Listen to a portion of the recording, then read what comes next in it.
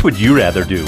Watch a 90 minute free video that will answer all your questions about the Grand Canyon, or sacrifice two days or more of your valuable time doing research? If option A sounds better, keep watching. The Grand Canyon is 277 miles long, 18 miles wide, over a mile deep.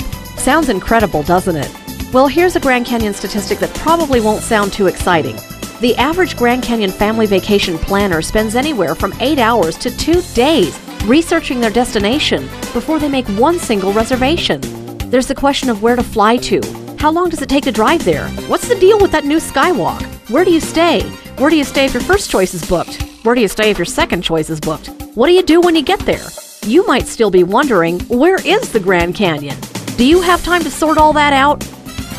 Well, that's exactly what we're here to help you do. I'm Carlin Bunting. And I'm Allie Kay, and we are GrandCanyon.com.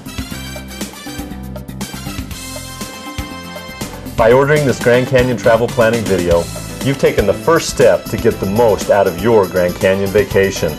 And in the next little while, we're going to show you how to plan a wonderful Grand Canyon vacation from beginning to end. We're going to give you lots of insider tips on how to save time, money, hassle, sometimes all three at once. And what's more, we're going to show you how to do all of it online. So grab a pen and some paper, get ready to take some notes. Better yet, grab your laptop.